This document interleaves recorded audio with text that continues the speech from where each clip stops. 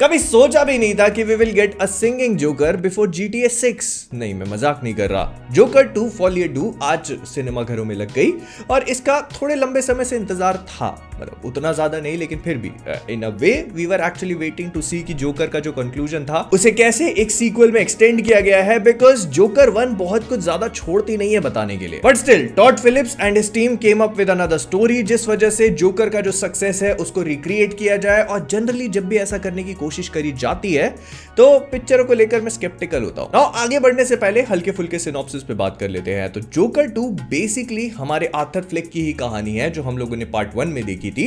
और अब किस तरह से वो आगे बढ़ती है, किस तरह से वो आर्खम में जाता है, वहाँ से उसकी लाइफ चेंजिंग इवेंट होते हैं, क्योंकि उसकी ज़िंदगी में आ चुके हैं अब रंग। और भरे भी क्यों ना, उसे मिली है एक ऐसी लेडी जो उसे गा गा कर गाने सुना रही है। और इस वजह से जो हमारा आर्थर फ्लेक है, वो एक शेल में जा चुका था। लेकिन अब वापस से उसकी जोकर वाली परसोना बाहर निकल के आती है and things start to change once again now ये सारी चीज़ें कैसे होती हैं, क्यों होती हैं हार्ली क्विन का कैरेक्टर इन सब चीज़ों में कैसे पार्टिसिपेट करके आर्थर फ्लेक को मोटिवेट करता है और क्या?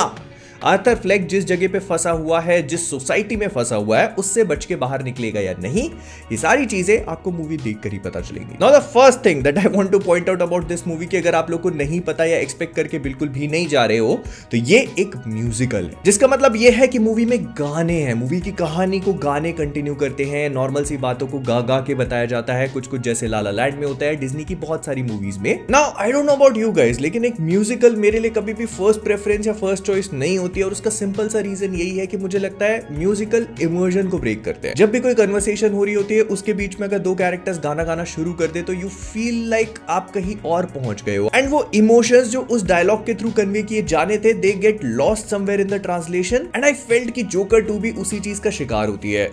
डोंट गेट मी रॉन्ग मुझे समझ में आ रहा था कि इस पूरी चीज़ को क्रिएट क्यों किया गया है। Because Joker and Harley are in love with each other और उस पूरे मैडनेस वाले एनवायरमेंट को ये सिर्फ़ सॉन्ग्स और म्यूज़िक के थ्रू कन्वे कर पा रहे थे तो उनके लिए ये सारी चीज़ें एक्चुअली लाला लैंड थी। बट पर्सनली जिस थिएटर में मैं गया था, वहाँ पे सब भी नहीं थे, और इस वजह से चीज़ों को समझ पाना, देख पाना थोड़ा सा और मुश्किल हो जाता है। ना अगर डायरेक्शन पे बात करी जाए तो टॉट फिलिप्स ने वही जोकर वन में जो उन्होंने स्टाइल पिक किया था, उसी को इस मूवी में डाला है। मतलब मूवी की टोन वही सेम है स्टाइल वही सेम है, बस फ़र्क ये हो जाता है कि बहुत सारी मूवी कोर्ट के अंदर और आर्कम जो जेल है, उसके अंदर टेक प्लेस करती है। रादर देन जैसे फ़र्स्ट पार्ट में हमको गौतम शहर का एक काफ़ी बड़ा पार्ट दिखाया गया था तो वो इस मूवी से मिसिंग फील होता है। फिर मूवी का इंट्रो बहुत ही क्रिएटिव तरीके से बनाया हुआ है, जैसे वो नाइनटीज के कार्टून आया करते थे लूनी टून्स वाले। तो उसी तरह से जोकर के इंट्रो को क्रिएट करने की कोशिश करी गई है और उसको देखकर लगता है कि यार मूवी में कुछ धमाकेदार देखने को मिलेगा। But sadly doesn't happen movie बस गानों से शुरू होकर गानों पे ही खत्म हो जाती है। एंड सिनेमेटोग्राफी पहली मूवी की तरह इस वाली में भी बहुत ही ज़्यादा खूबसूरत है। एक एक शॉट को इतने बेहतरीन तरीके से लाइट अप किया गया है कि एक एक फ्रेम आपको बहुत खूबसूरत लगेगा। मतलब बहुत ही सटल तरीके से वो टील एंड ऑरेंज कलर का यूज़ किया गया है, जो हर सीन में ऑलमोस्ट हर सीन में हमको देखने को मिलता है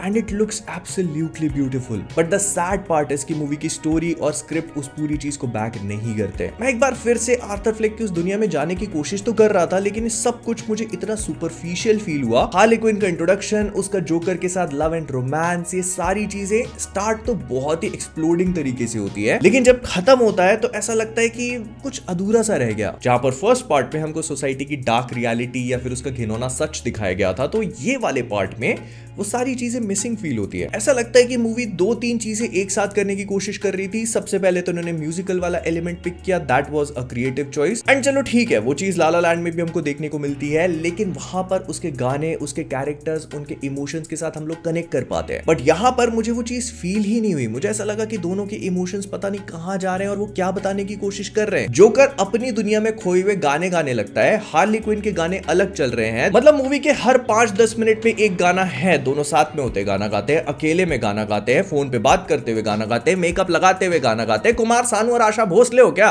उन्होंने भी साथ में इतने गाने नहीं गाए थे। और इसका दूसरा और बहुत ही हेवी एस्पेक्ट जो हम लोगों को ट्रेलर से समझ में नहीं आया था, वो था कोर्ट रूम ड्रामा का। मूवी लिटरली सिर्फ़ दो ही जगह टेक प्लेस करती है, एक जेल में और दूसरी कोर्ट रूम में। इन दोनों के अलावा मुश्किल से मूवी पाँच दस मिनट बाहर का कुछ दिखा देती है, वो सीढ़ियाँ वगैरह जो भी है, उसके अलावा सब कुछ अंदर ही है। And don't get me wrong court room dramas अगर इंटेंस तरीके से दिखाया जाए तो बहुत ही ज़्यादा सुपर फील होते हैं लेकिन यहाँ पर वो भी सुपरफिशियल है। एट वन पॉइंट जोकर कुछ ऐसा करता है, जिस वजह से सारी की सारी कोर्ट रूम की हेयरिंग उसी के ऊपर डिपेंडेंट हो जाती है and you feel that he will come up with something magical something great something spectacular वही जो सेम स्पीच उसने जोकर वन में, वो शो में जाकर दी थी मरे भाई के, और फिर उनको ठोक दिया था तो इसमें भी हम लोग ऐसा ही कुछ एक्सपेक्ट करते हैं बट इट डजेंट कम फिर अगर इसके बाद एक्टर्स की परफॉर्मेंसेस पे बात करी जाए तो हॉकिन फिनिक्स भाई साहब। जोकर वन में जो उन्होंने परफॉर्म किया था, वो यहाँ पर एक बार फिर से लेके आया and he looks absolutely magical then Lady Gaga ने भी काफ़ी अच्छा काम किया है। एट टाइम्स आपको लगता है कि हम्म कुछ तो गड़बड़ है। एंड सही है, गाना गाने के मामले में बहुत ही बेहतरीन और